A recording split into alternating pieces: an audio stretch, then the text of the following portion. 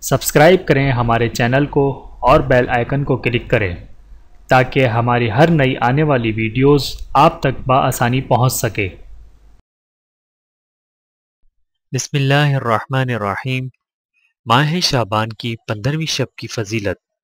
ارشاد فرمایا، رسول اللہ صلی اللہ علیہ وآلہ وسلم نے کہ، اے عائشہ، تم جانتی ہو اس رات میں کیا ہوتا ہے؟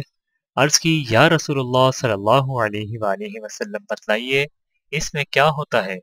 آپ صلی اللہ علیہ وآلہ وسلم نے فرمایا، اس رات میں یہ ہوتا ہے کہ آدم علیہ السلام کی اولاد میں سے جو شخص اس سال پیدا ہوگا اور جو اس سال میں مرے گا، اس کا مرنا اور پیدا ہونا لکھا جاتا ہے اور جو فرشتے ان کاموں پر مقرر ہیں، ان کو اطلاع دی جاتی ہے اور جتنا جتنا رزق مخلوق کو اس برس میں ملے گا سب لکھا جاتا ہے۔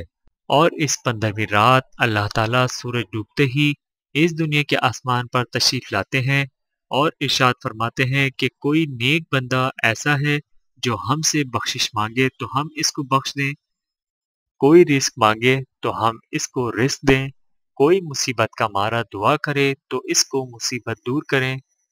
اسی طرح صبح ہونے تک ارشاد فرماتے ہیں، بس بندوں کو چاہیے کہ اس رات میں خوب عبادت کریں اور اپنے گناہوں کی معافی مانگیں اور پندرہویں تاریخ کو روزہ رکھیں اور اللہ تعالیٰ اس رات میں اپنی مہربانی سے بے شمار بندوں کو بخشتا ہے، مگر کافر مشرق کنا رکھنے والے کو اور قاتل کو نہیں بخشتا۔ بہوالا مشکہ شریف۔ پندرہ شابان کے اعمال۔ پندرہویں شابان کی رات کی فضیلت۔ نمبر ایک۔ روزی تقسیم ہونے کی رات، زندگی کی میاد مقرر ہونے والی رات، حج پر جانے والوں کے نام لکھے جانے کی رات، قبیلہ بنی کلب کی بکریوں کے بالوں سے زیادہ تعداد میں گناہ گار بخشے جانے والی رات، ملائکہ کے زمین پر نازل ہونے کی رات، مفہوم حدیث رسول اللہ صلی اللہ علیہ وآلہ وسلم۔ یہ بڑی بابرکت رات امام جعفر صادق رضی اللہ تعالی عنہ فرماتے ہیں کہ امام محمد باقر سے شابان کی رات کے بارے میں پوچھا گیا تو آپ صلی اللہ علیہ وآلہ وسلم نے فرمایا، یہ رات شب قدر کے علاوہ تمام راتوں سے افضل ہے۔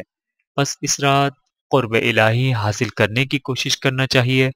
اس رات خدا تعالیٰ اپنے بدوں پر فضل و کرم فرماتا اور ان کے گناہ معاف کرتا ہے۔ حق تعالیٰ نے اپنی ذات مقدس کی قسم کھائی ہے کہ اس رات وہ کسی سائل کو خالی نہ لٹائے گا، سوائے اس کے جو مصیبت و نافرمانی سے متعلق سوال کرے، خدا نے یہ رات ہمارے لیے خاص کی ہے، جیسے شب قدر کو حضرت رسول اکرم صلی اللہ علیہ وآلہ وسلم کے لیے مخصوص فرمایا۔ بس اس شب میں زیادہ سے زیادہ حمد و ثنا الہی کرنا اور دعائے مناجات میں مصروف رہنا چاہیے۔ اس رات شب داری کی فضیلت، نماز اور دعا و استغفار کے لیے شب داری کی جائے۔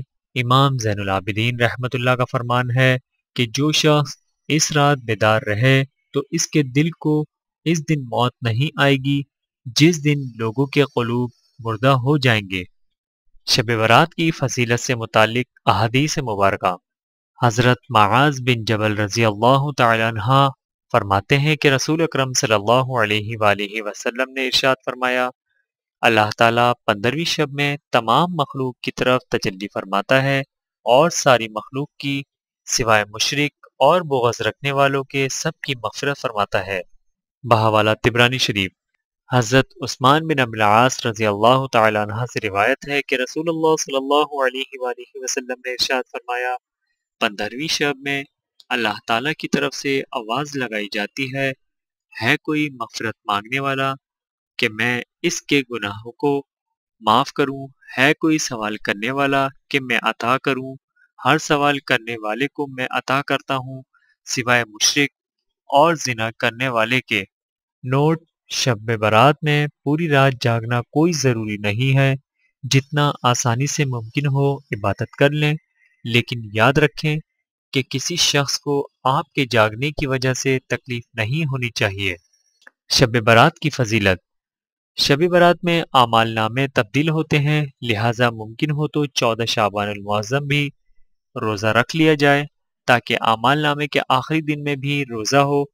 چودہ شعبان کو عصر کی نماز با جماعت پڑھ کر وہیں نفلی اعتکاف کر لیا جائے اور نماز مغرب کے انتظار کی نیت سے مسجد ہی میں ٹھہرا جائے، تاکہ اعمال نامہ تبدیل ہونے کے آخری لمحات میں مسجد کی حاضری و اعتکاف اور انتظار نماز وغیرہ کا ثواب لکھا جائے۔ بلکہ زہ نصیب ساری ہی رات عبادت میں گزاری جائے۔ حضرت عائشہ صدیقہ رضی اللہ تعالیٰ عنہ سے روایت ہے، حضور اکرم صلی اللہ علیہ وآلہ وسلم نے فرمایا، میرے پاس جبرائیل علیہ السلام آئے اور کہا شابان کی پندرہویں رات ہے، اس میں اللہ تعالیٰ جہنم سے اتنوں کو آزاد فرماتا ہے جتنے بنی کلب کی بکریوں کے بال ہیں، مگر کافر اور عداوت والے اور رشتہ کاٹنے والے اور کپڑا لٹکانے والے اور والدین کی نافرمانی کرنے والے اور شراب کے عادی کی طرف نظر رحمت نہیں فرماتا۔ ویڈیو دیکھنے کا بہت شکریہ۔ مزید ویڈیوز دیکھنے کے لیے ہمارے چینل کو سبسکرائب کریں۔ اگر ویڈیو پسند آئے تو لائک کریں۔ اچھی بات کو دوسروں تک پہنچانا صدقہ جاریہ ہے۔ جزاکم اللہ خیرن کثیر اپنا اور اپنے پیاروں کا بہت زیادہ خیال رکھیے گا اور مجھے دعاؤں میں یاد رکھیے گا۔ ٹیک کیئر اللہ حافظ۔